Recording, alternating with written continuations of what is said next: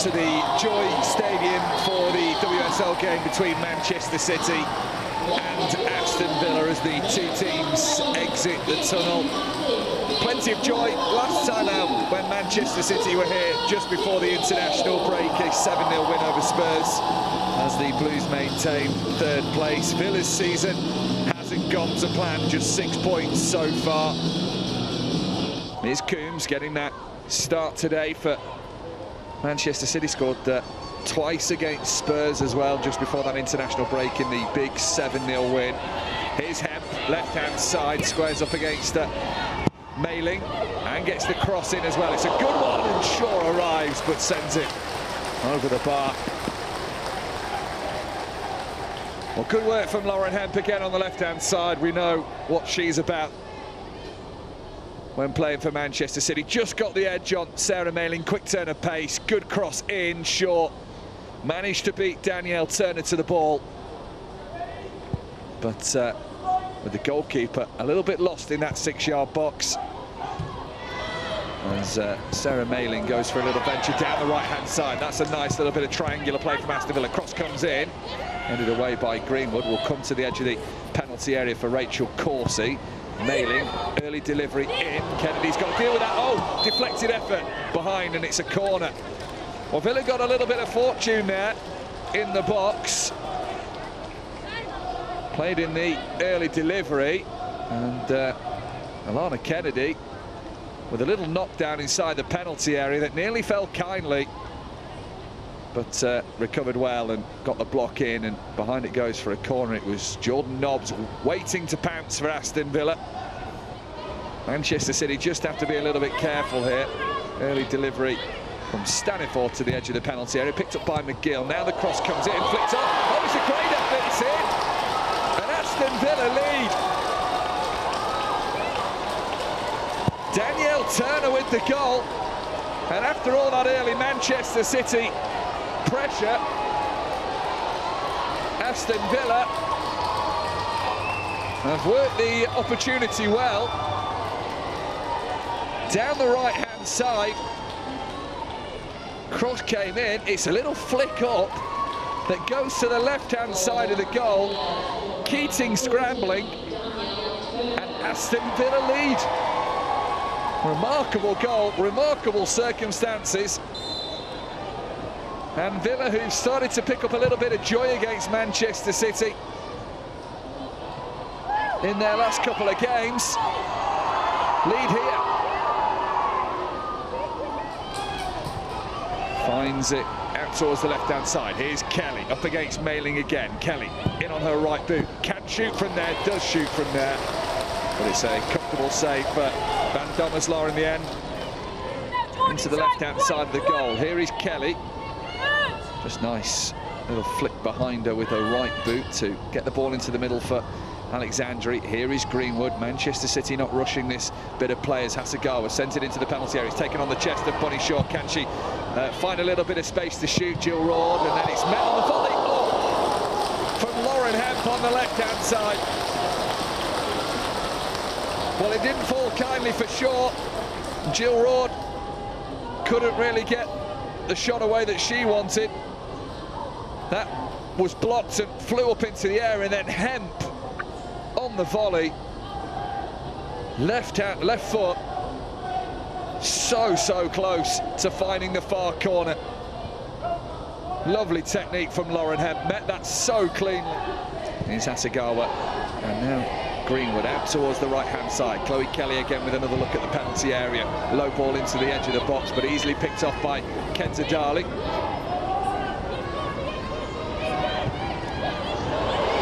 That's a mistake from Aston Villa. Can't put his shot pass, lays it back, looking for Kelly. It might come to Roord on the volley. Kelly again, saved by the legs of the goalkeeper. Villa escape, Manchester City close. Well, Aston Villa were a little bit casual there. As Mayling just rolled into the penalty area, looking for Patton.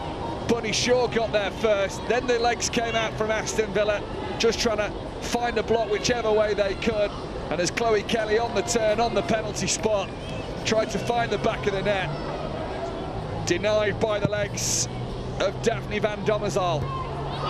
Time to wise up. They trail by a goal to nil. Out towards the left. Here's Hemp to attack the area into the box. It's a low shot that just squeezes wide of Domselaar, but also the post.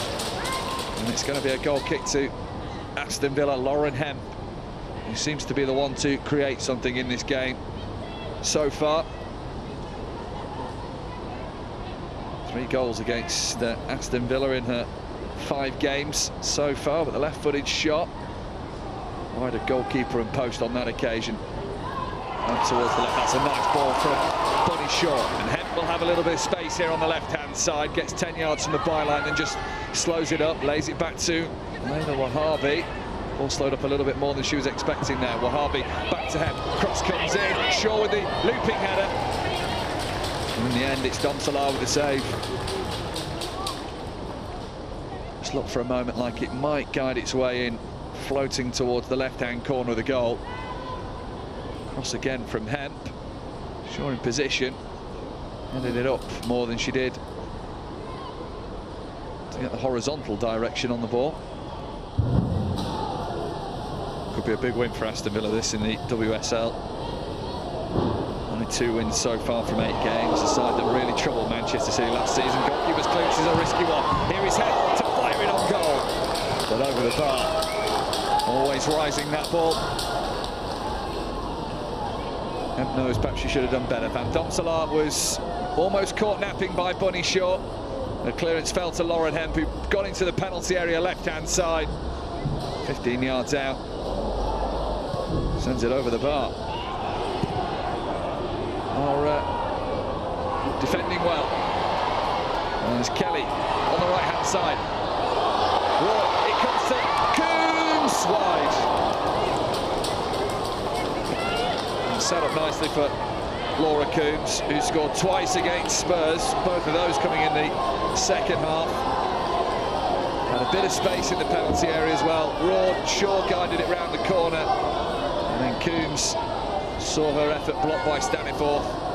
More solid Aston Villa defending. In goes the corner, deep to the back post. And it's another corner. Low ball onto the right for Raw. Once more over for Chloe Kelly. Here comes Manchester City with the crossing. Header, equaliser. And Lauren gets the goal. Lovely cross and Hemp at the back post. Just has to guide the header on target. And Manchester City are level. Lauren Hemp's fourth goal against Aston Villa in her sixth match against the Claret and Blues. Nicely turned by Rod out to the right-hand side. Kelly had time to look up, set the cross, and Hemp was at the back post, unmarked for the header. Manchester City won, Aston Villa won. Good header from Lauren Hemp. Scored against Spurs last time out. In a rout for Manchester City, who are on the charge again. And it's Hemp once more on the left-hand side of the penalty area, backheeled cross. Chloe Kelly, corner then, on this near side left. Drifted towards the back post. Henry's there, there's a chance! And City have turned this around, and it's Lauren Hemp the double for Manchester City. Sliding into the back post.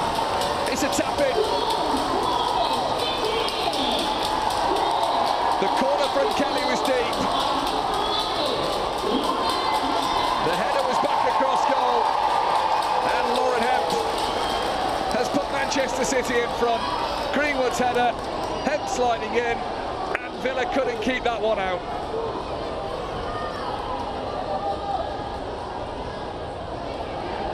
And Lauren Hemp now makes it five goals in six games against Aston Villa. And that's 25 minutes to go and chase down a hat-trick. Greenwood to the left of the centre circle, sends it forward to Chloe Kelly, has to go, and now with the searching ball out to the right-hand side, it's come off for Lauren Hemp, still chasing that hat-trick. Feeds in Jill Roord, it's a low ball in, Shaw will try and nick it, oh! And goes down, and no penalty given. Jill Roord's low ball in from the right-hand side then. Shaw gets there first. There's a left heel clipped. Was there enough in that for a penalty? Still, and I think there's contact there. And I think Danielle Turner's a little bit fortunate. Well, we're past the six minutes of added time that was shown. And the referee blows for full time.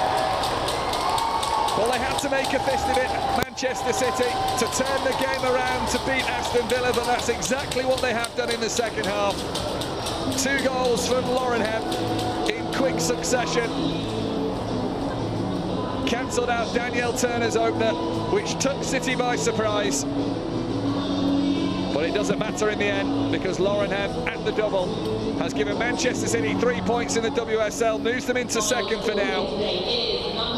And it's an afternoon that brings smiles to the faces of the players, the fans and the manager Gareth Taylor. Manchester City 2, Aston Villa 1.